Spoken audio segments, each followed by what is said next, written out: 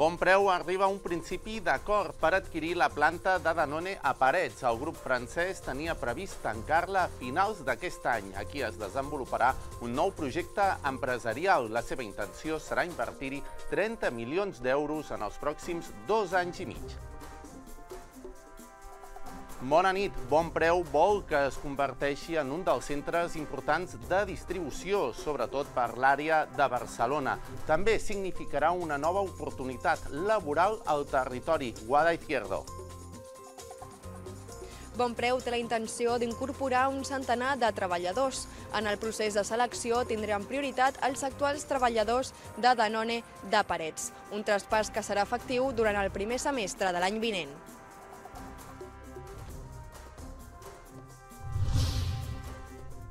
La discriminació per edat és una de les agressions que més pateixen les dones grans. Per posar en evidència les violències masclistes en aquest col·lectiu, a Montmeló s'ha fet una jornada per intentar combatre aquestes situacions.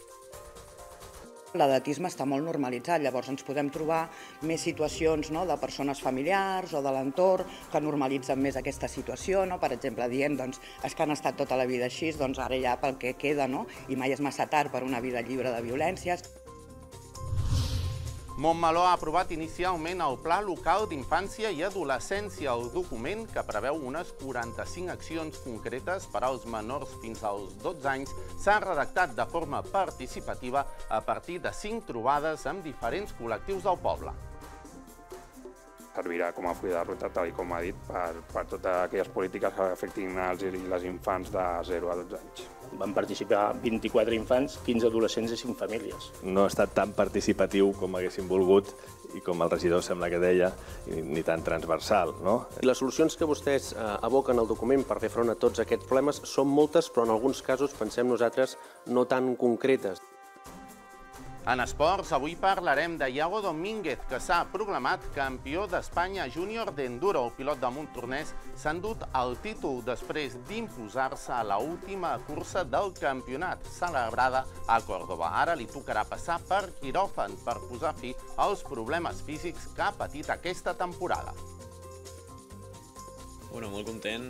Eh, L'any passat eh, va ser el nostre primer any a la categoria 125 i ens vam quedar a tan sols 4 punts al, d'aconseguir el campionat i aquest any hem, bueno, hem pogut eh, aconseguir-lo. Hola, què tal? Un temps que ha estat molt tranquil aquest dimecres al Baix Vallès i que continuarà de la mateixa forma el dijous. De núvols en tindrem molt pocs a les quatre viles del Baix Vallès i bàsicament el que sí que podem destacar és que el matí del dijous fins i tot despertarà més fresquet que avui. Per tant, ja sentirem una mica més de tardor, tampoc per tirar coets.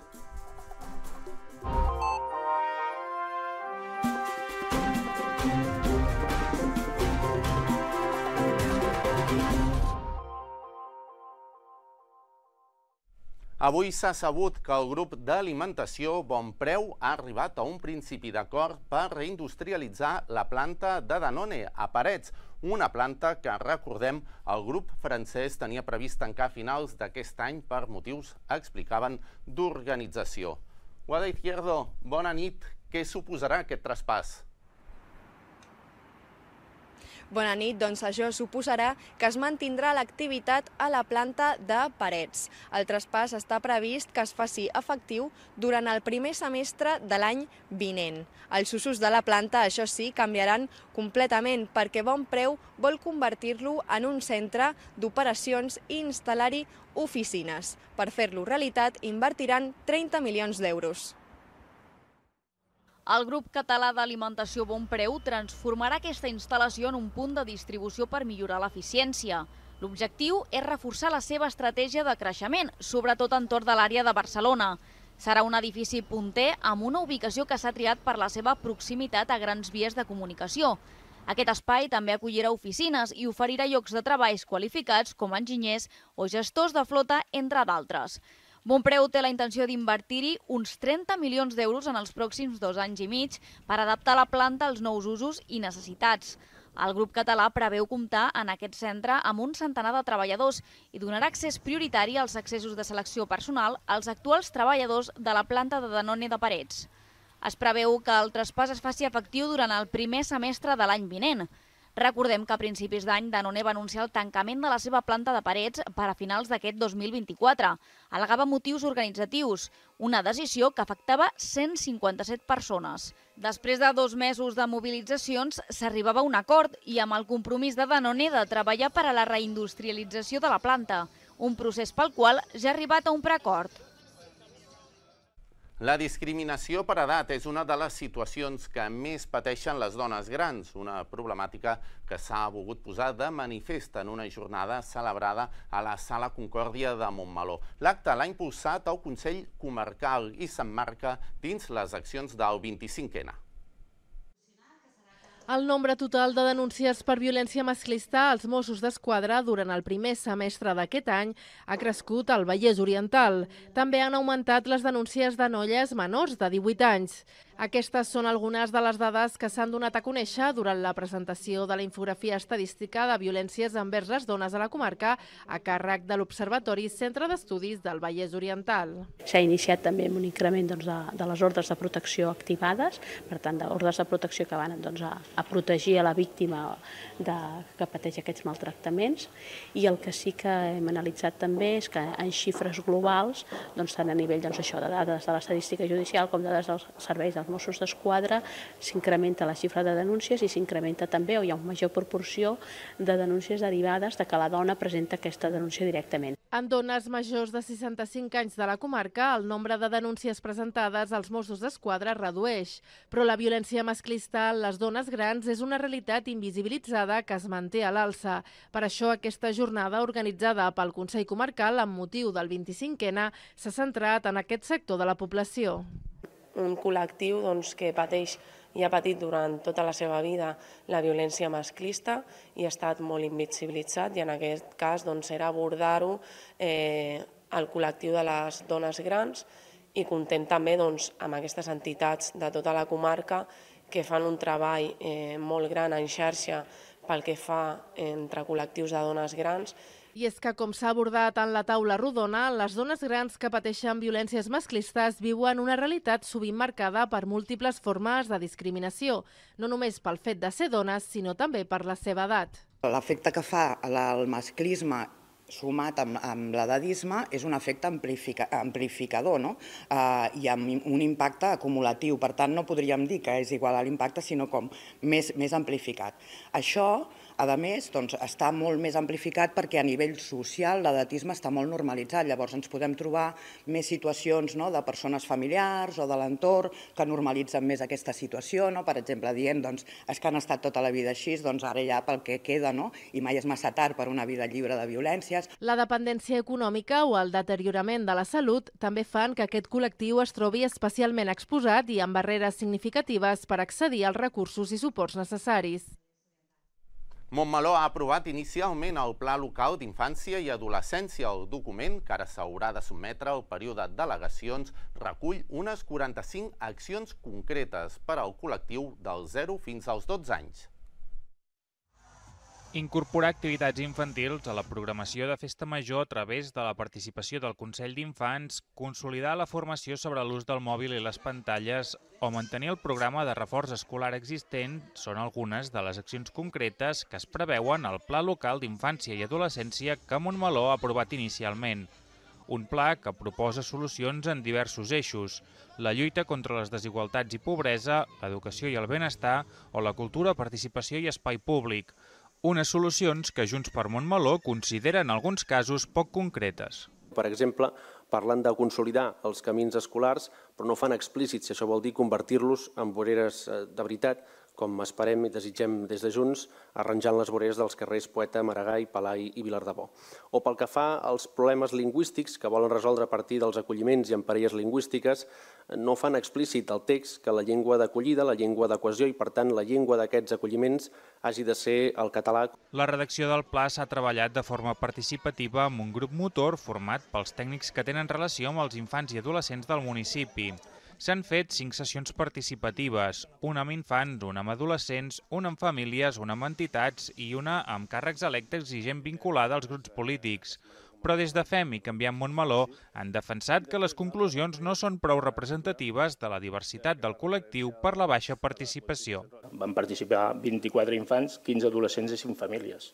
Pensem que cal un esforç per assegurar de veritat la veu dels infants i adolescents, com hem comentat anteriorment, i la seva participació ha de ser centrada en totes les fases del projecte. Potser també pensem que cal incloure activitats més dinàmiques a les escoles, tallers creatius. Celebrem que, que hi hagi un pla local d'infància i adolescència a Montmeló, que es comenci a treballar en aquest sentit que falta fa, Uh, però també és veritat que, com s'ha comentat, no, no, no ha estat tan participatiu com haguéssim volgut i com el regidor sembla que deia, ni, ni tan transversal. No? Davant aquestes peticions, l'equip de govern ha defensat que amb l'aprovació inicial comença el període d'al·legacions en què tothom, grups municipals i ciutadania pot seguir aportant la seva. Això és un full de ruta però que es poden eh, produir circumstàncies X que ens facin canviar aquesta direcció i, evidentment, com hem fet sempre, oberts a, a debatre i a, a decidir de forma conjunta eh, cap a on avançar eh, les polítiques d'infància. L'aprovació inicial del pla s'ha dut a terme amb els vots a favor del PSC i Canviem Montmeló i l'abstenció de Fem i Junts. En aquest ple de Montmeló també s'ha aprovat la continuïtat de Carme Manuel com a jutgessa de pau titular i la designació de Lluís Esteban com a jutge de pau substitut. També s'ha adjudicat definitivament el servei de gestió de l'Escola Bressol Municipal La Fireta a l'empresa Incop SCCL. L'adjudicació és per un any, amb possibilitat de prorrogar-lo fins a tres anualitats més. La primera per un any, la segona també i la tercera per vuit mesos més.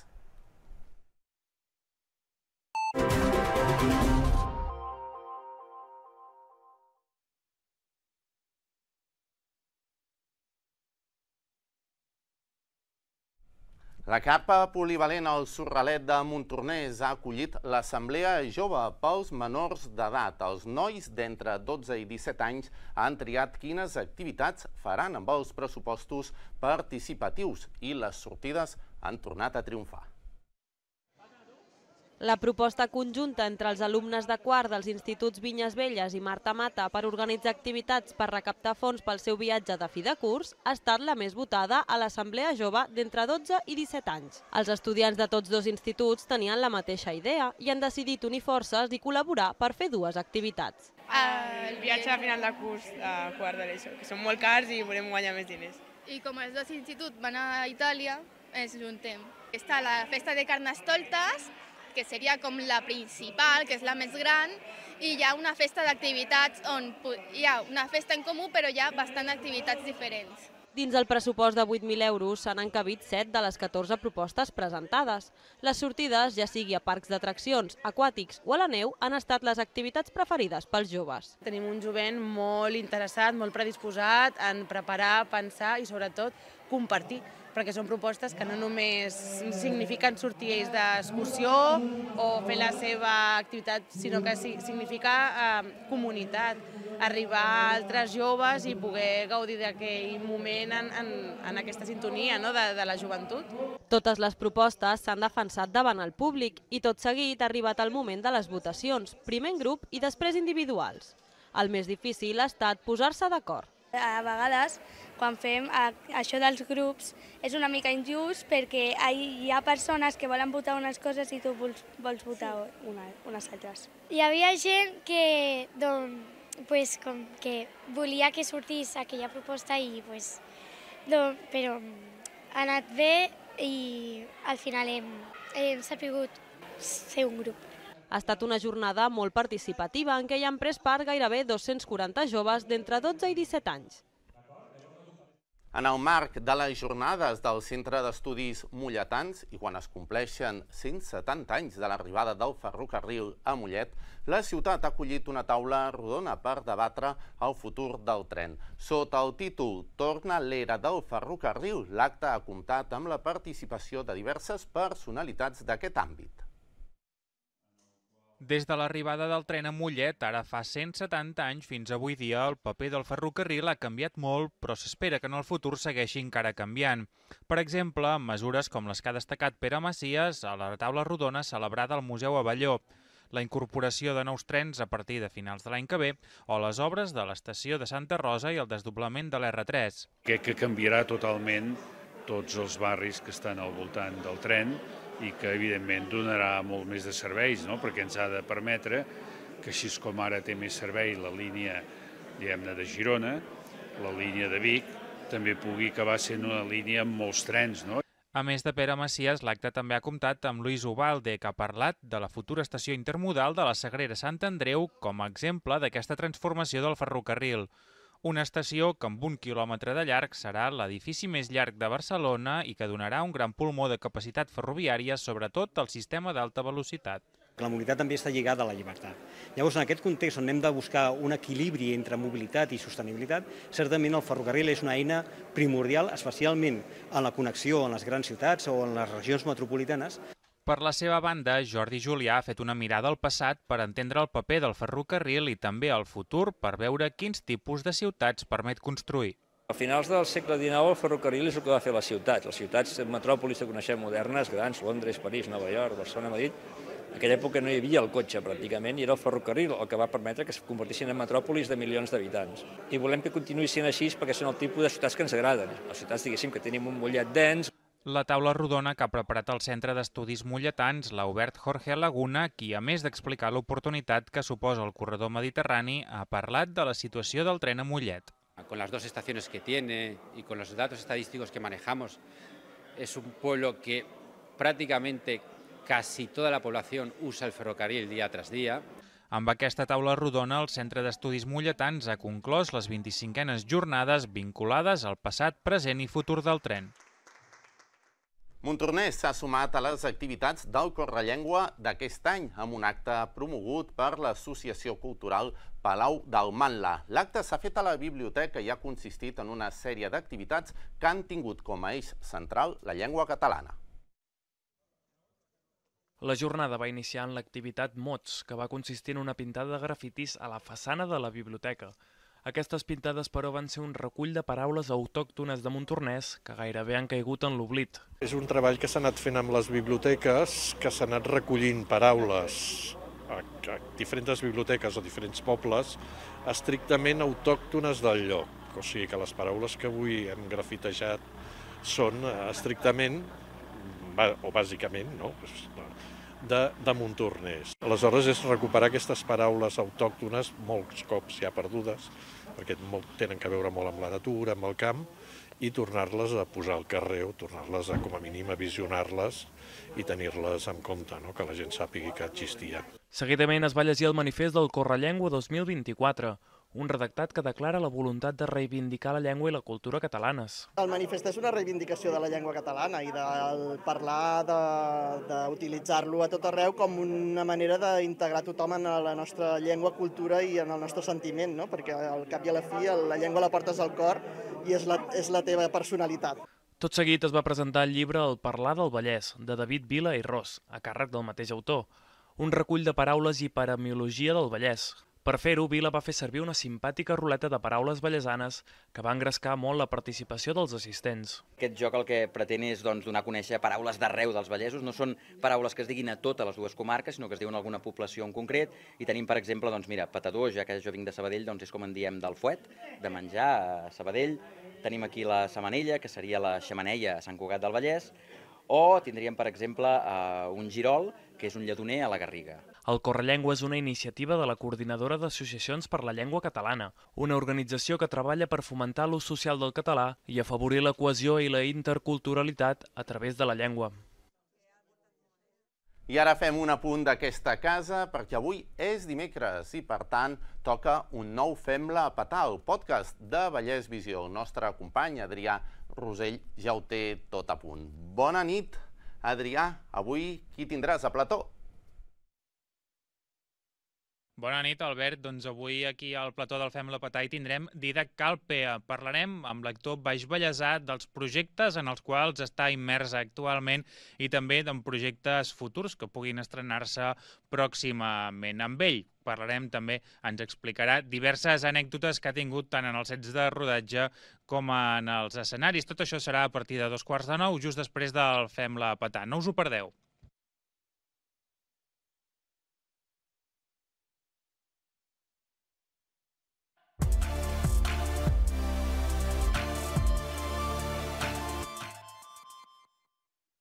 El montornesenc Iago Domínguez s'ha proclamat campió d'Espanya a la categoria d'enduro de 125 centímetres cúbics en la seva segona participació. L'any passat, en el seu debut, es va quedar 4 punts d'aconseguir la primera posició, una espineta que s'ha pogut treure amb escreix enguany. Només 4 punts van separar a Iago Domínguez de fer-se amb el campionat estatal la temporada passada, en el que era la seva primera participació. Una barrera que aquest any ha aconseguit superar i s'ha alçat com a campió d'Espanya després d'assolir un primer lloc en la darrera cursa de la competició. Bueno, molt content. Eh, L'any passat eh, va ser el nostre primer any a la categoria 125 i ens vam quedar a tan sols 4 punts d'aconseguir el campionat. I aquest any hem, bueno, hem pogut eh, aconseguir-lo. Eh, han pujat nous, nous contrincants, així que ha sigut un any ben lluitat i molt divertit. El jove pilot montornesenc ha hagut de treballar de valent per aconseguir aquesta fita. En el transcurs de la temporada, el Llago ha canviat d'equip i, per tant, de moto, i també ha patit lesions que han fet trontollar la seva participació en el certamen. A mitjans d'any vaig tindre que canviar d'equip, eh, va sortir una nova oportunitat amb, i tenia més, moltes ganes amb aquest nou, aquesta nova moto i equip.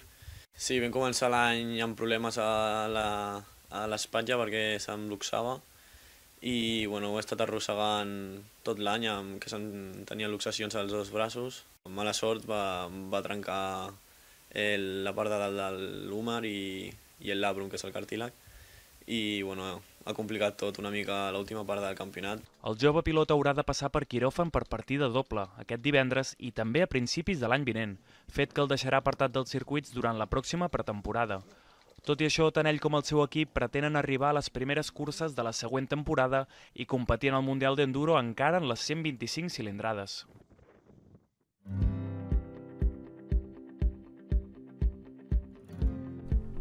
Hola, què tal? Aquest Equador de la setmana que ha vingut amb un temps molt tranquil, i de fet ho és encara a hores d'ara.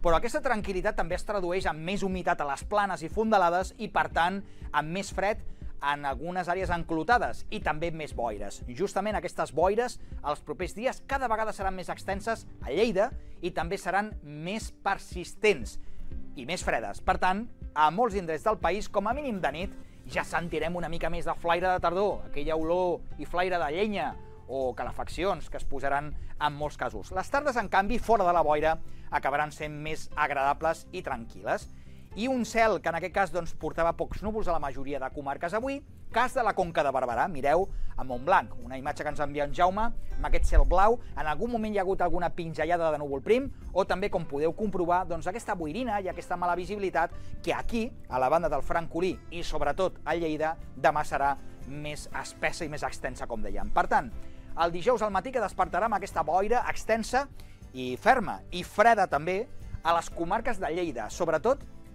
doncs, a les de la plana de Lleida, en el cas del Segrià, les Garrigues, l'Urgell, el Pla d'Urgell, també al sud del Pallars Jussà, la Noguera, i fins i tot arribant al Solsonès i a la comarca de la Sagarra. Aquí aquesta temperatura baixa també. Mireu a Lleida capital, despertarem amb 2 graus, o ja a les valls del Pirineu, a la Seu, despertarem amb 0 graus.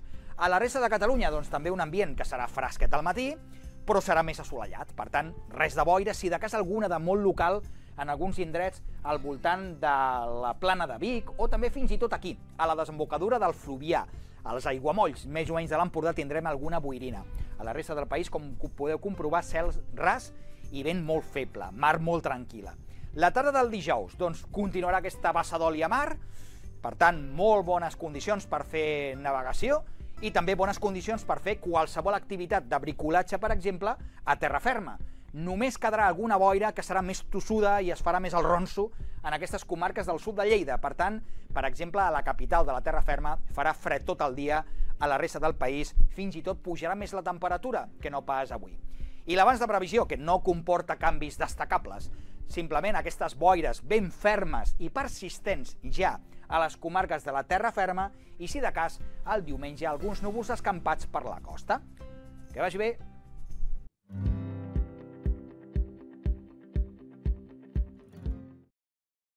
De marxar, fem un repàs als titulars que ens ha deixat el dia. Bonpreu arriba a un principi d'acord per adquirir la planta de Danone de Parets. Aquí desenvoluparà un nou projecte empresarial. La seva intenció serà invertir-hi 30 milions d'euros en els pròxims dos anys i mig. Bonpreu vol que, vol que es converteixi en un dels centres importants de distribució, sobretot per l'àrea de Barcelona. La discriminació per edat és una de les agressions que més pateixen les dones grans. Per posar en evidència les violències masclistes en aquest col·lectiu, a Montmeló s'ha fet una jornada per intentar combatre aquesta situació. Montmeló ha aprovat inicialment el Pla Local d'Infància i Adolescència, el document que preveu unes 45 accions concretes pels menors fins a 12 anys s'ha redactat de forma participativa a partir de 5 trobades amb diferents col·lectius del poble. I en esports, avui hem parlat de Iago Domínguez, que s'ha proclamat campió d'Espanya júnior d'enduro. El pilot de Montornès s'ha endut el títol després d'imposar-se a l'última prova del campionat, celebrada a Còrdoba. Recordeu que tot el que passi al Baix Vallès ho podeu seguir a través del nostre web vallesvisió.cat. Nosaltres hi tornem demà a l'hora de sempre. Molt bona nit.